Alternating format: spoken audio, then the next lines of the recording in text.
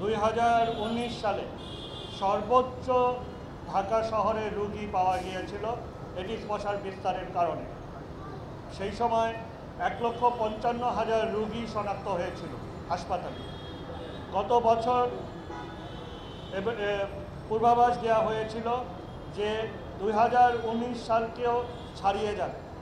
আমরা যথাযথ প্রস্তুতি নিয়েছিলাম এবং আমাদের জনবল, যানযন্ত্রপাতি কীটনাশ, মানসম্পন্ন কীটনাশক মজুদ রাখা, এই সকল কার্যক্রমের ফলশ্রুতিতে আমাদের কাউন্সিলরবৃন্দ নিজেরা স্ব স্ব এলাকায় ঘুরে ঘুরে রোগীদের ঠিকানা সহ বিভিন্ন জায়গা স্থাপনা, আমাদের মশক কর্মী, আমাদের মশক বাহিনী, সকলে মিলে কাজ করার পরিপ্রেক্ষিতে আমরা সফলতার সাথে সেই এডিস মশার বিস্তারকে আমরা নিয়ন্ত্রণ করতে পেরেছি।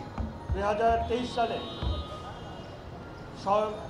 যে তথ্য উপাত্ত পাওয়া গেছে, সেখানে দেখা গেছে যে ঢাকা শহরে দুই এলাকা মিলে, দক্ষিণ এবং উত্তর মিলে সর্বোচ্চ এক লক্ষ তেরো হাজার রোগী পাওয়া গিয়েছে। তার এতেই দেখা যায় যে তথ্য উপাত্ত বিশ্লেষণ করলে দেখা যায় যে দু হাজার উনিশ সালের থেকে আমরা বিয়াল্লিশ হাজারের মতো রুগী আমরা কম রাখতে পেরেছি।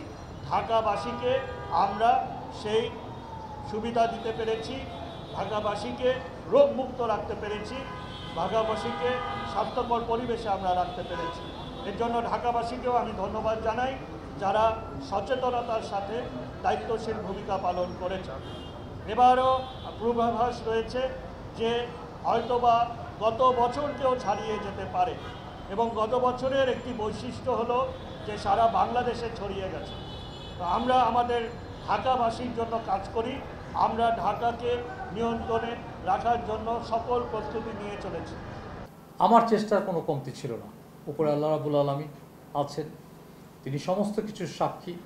নিচে এই শহরের জনগণ, এই শহরের জনগণও সাক্ষী। আমি চেষ্টা করে গেছি। দিন রাত অক্লান্ত পরিশ্রম করে গেছি।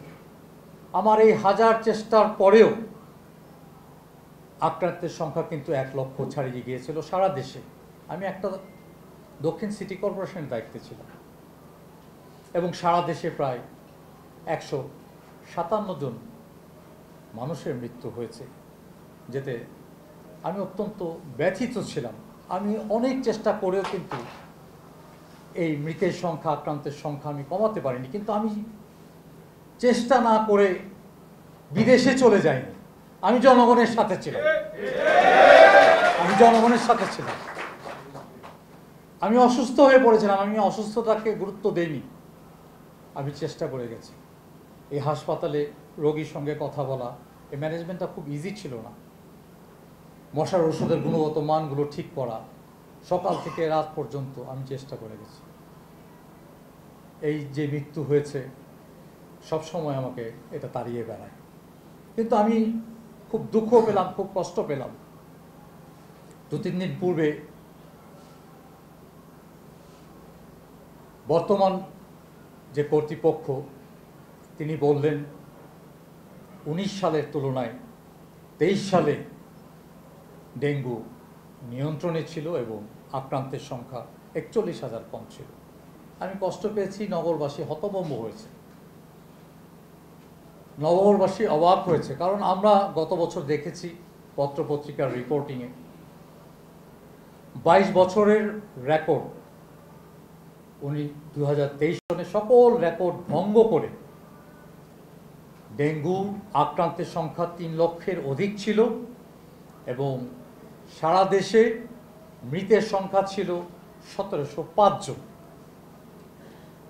এটা স্বাস্থ্য অধিদপ্তরের সূত্র মতে এই স্বাস্থ্য অধিদপ্তরের সূত্রের তথ্য ধরে প্রথম আলোতে তার পরের দিন এই নিউজটি প্রকাশিত হয়, যেখানে লিড লাইনে বলা হয় দু হাজার উনিশের চেয়ে দু হাজার তেইশ সালে ঢাকায় ডেঙ্গু রোগী বেশি ছিল।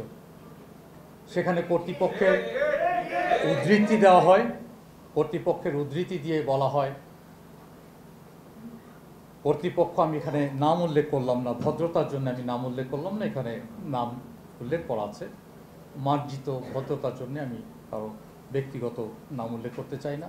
সেখানে বলা হয়েছে দু হাজার তুলনায় দু হাজার তেইশ সালে ঢাকায় রোগীর সংখ্যা বিয়াল্লিশ হাজার কম ছিল বলে একজন দায়িত্বশীল, কর্তৃপক্ষের দায়িত্বশীল ব্যক্তি উল্লেখ করেছেন এবং স্বাস্থ্য অধিদপ্তরের তথ্য মতে এটা অসত্য। এই রিপোর্টটি এসেছে।